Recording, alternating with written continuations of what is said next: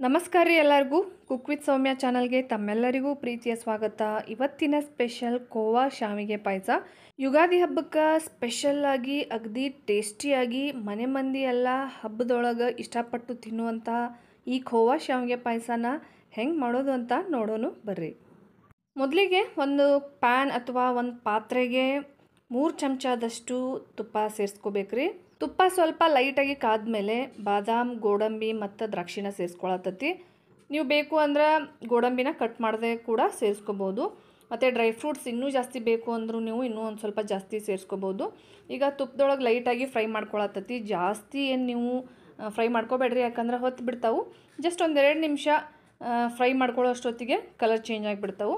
ನೋಡಿರಿ ಇಷ್ಟು ಫ್ರೈ ಮಾಡ್ಕೊಂಡ್ರೆ ಸಾಕು. ಇದಕ್ಕಿಂತ ಏನು ಕಲರ್ ಚೇಂಜ್ ಆಗೋದು ಬೇಡ ಹೊತ್ತಿದಂಗೆ ಆಗಿಬಿಡ್ತಾವು. ಈಗ ಎಲ್ಲ ಡ್ರೈ ಫ್ರೂಟ್ಸ್ನು ಒಂದು ಪ್ಲೇಟಿಗೆ ತೆಗೆದು ಸೈಡ್ ಇಟ್ಕೋಬೇಕ್ರಿ.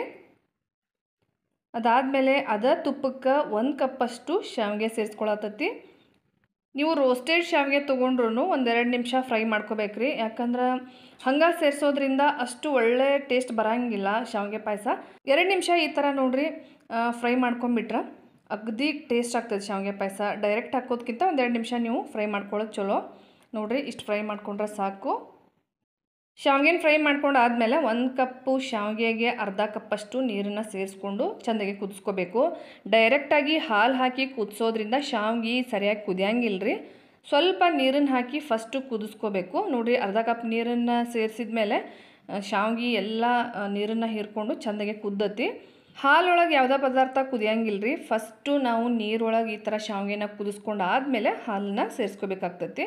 ನೋಡ್ರಿ ಚೆಂದಾಗೆ ಈ ಥರ ಕುದಿಸ್ಕೊಂಡಾದ್ಮೇಲೆ ನೆಕ್ಸ್ಟು ಒಂದು ಕಪ್ ಶಾವಿಗೆಗೆ ಎರಡು ಕಪ್ಪಷ್ಟು ಹಾಲನ್ನು ಸೇರಿಸ್ಕೊಳತತಿ ನಿಮ್ಗೇನಾದರೂ ಕುದಿಬೇಕಾದ್ರೆ ಗಟ್ಟಿ ಅನಿಸಿದ್ರೆ ಇನ್ನೊಂದು ಸ್ವಲ್ಪ ಹಾಲು ಇಲ್ಲ ಅಂದ್ರೆ ನೀರನ್ನು ಸೇರಿಸ್ಕೋಬೋದು. ಈಗ ನೋಡಿರಿ ಚೆಂದಾಗೆ ಒಂದು ರೌಂಡ್ ಮಿಕ್ಸ್ ಮಾಡ್ಕೋಬೇಕು ಹಾಲು ಮತ್ತು ಶಾವಿಗೆನ. ಚೆಂದಾಗೆ ಒಂದು ರೌಂಡ್ ಮಿಕ್ಸ್ ಮಾಡ್ಕೊಂಡು ಆದಮೇಲೆ ಮೀಡಿಯಮ್ ಉರಿ ಇಟ್ಕೊಂಡು ಐದರಿಂದ ಎಂಟು ನಿಮಿಷ ಶಾವಿಗೆನ ಚೆಂದಾಗೆ ಕುದಿಸ್ಬೇಕ್ರಿ. ನೋಡ್ರಿ, ಈಗ ಐದರಿಂದ ಎಂಟು ನಿಮಿಷ ಆಯಿತು. ಚೆಂದಾಗೆ ಶಾವಿಗೆ, ಕುದ್ದತಿ. ಈಗ ಕುದಿಯಾಕತ್ತಿರೋ ಶಾವಿಗೆಗೆ ಏಲಕ್ಕಿ ಪುಡಿ ಸೇರಿಸ್ಕೊಳತ್ತತ್ರಿ. ಒಂದು ಗಿರ್ದ ಅಥವಾ ಕಾಲು ಚಮಚದಷ್ಟು. ಹಂಗೆ ಆಲ್ರೆಡಿ ತುಪ್ಪದೊಳಗೆ ಏನು ಫ್ರೈ ಮಾಡಿ ಇಟ್ಕೊಂಡಿತ್ತಲ್ಲ, ಎಲ್ಲ ಡ್ರೈ ಫ್ರೂಟ್ಸ್ನು ಸೇರಿಸ್ಕೊಂಡತ್ತಿ.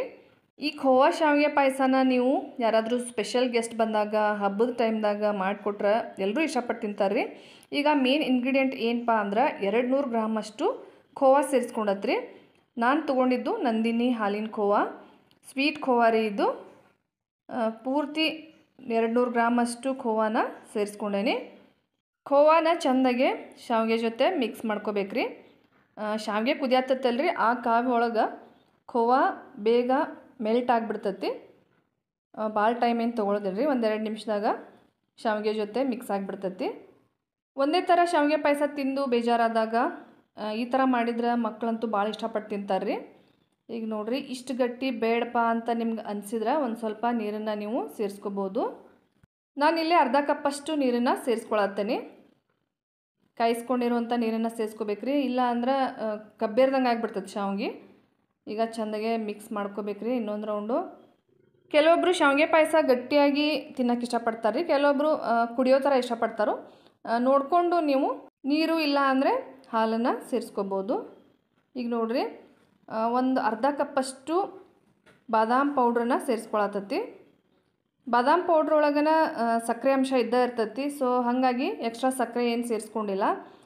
ನಿಮಗೆ ಶಾವಿಗೆ ಪಾಯಸ ಇನ್ನೂ ಸ್ವಲ್ಪ ಸ್ವೀಟಾಗಿರಬೇಕು ಅಂತ ಅನಿಸಿದ್ರೆ ಇನ್ನೊಂದು ಸ್ವಲ್ಪ ಸಕ್ಕರೆ ಸೇರಿಸ್ಕೋಬೋದು, ಇನ್ನೊಂದು ಕಪ್ಪಷ್ಟು ಸೊ ಈಗ ಚೆಂದಾಗೆ ಒಂದು ರೌಂಡ್ ಮಿಕ್ಸ್ ಮಾಡ್ಕೊಂಡ್ರೆ ಆಗಿ ಖೋವಾ ಶಾವಿಗೆ ಪಾಯಸ ರೆಡಿ ಆಯ್ತು ನೋಡ್ರಿ. ಈ ಯುಗಾದಿ ಹಬ್ಬಕ್ಕೆ ಸ್ಪೆಷಲ್ಲಾಗಿ ವಿಭಿನ್ನವಾದ ರುಚಿಯನ್ನು ಕೊಡುವಂತಹ ಖೋವಾ ಶಾವಿಗೆ ಪಾಯಸ ರೆಡಿ ಆಯ್ತು ನೋಡ್ರಿ. ನೋಡಿದ್ರಲ್ರಿ, ಇವತ್ತಿನ ಯುಗಾದಿ ಹಬ್ಬದ ಸ್ಪೆಷಲ್ ಖೋವಾ ಶಾವಿಗೆ ಪಾಯಸ ಹೆಂಗೆ ಮಾಡೋದು ಅಂತ. ಇವತ್ತಿನ ರೆಸಿಪಿ ನಿಮ್ಮೆಲ್ರಿಗೂ ಖಂಡಿತ ಇಷ್ಟ ಆಗೈತೆ ಅಂತ ಭಾವಿಸ್ತೀನಿ. ಇಷ್ಟ ಆದರೆ ಲೈಕ್ ಮಾಡಿರಿ, ಹಂಗೆ ನಿಮ್ಮ ಫ್ರೆಂಡ್ಸ್ ಆ್ಯಂಡ್ ಫ್ಯಾಮಿಲಿ ಜೊತೆ ಶೇರ್ ಮಾಡ್ಕೊಳ್ಳೋದನ್ನು ಮಾತ್ರ ಮರಿಬೇಡ್ರಿ. ಮತ್ತು ಸಿಗೋಣಂತ್ರಿ ಮತ್ತೊಂದು ಹೊಸ ಈಸಿ ರೆಸಿಪಿ ಜೋಡಿ. ಅಲ್ಲಿವರೆಗೂ ಎಲ್ಲರಿಗೂ ನಮಸ್ಕಾರ ರೀ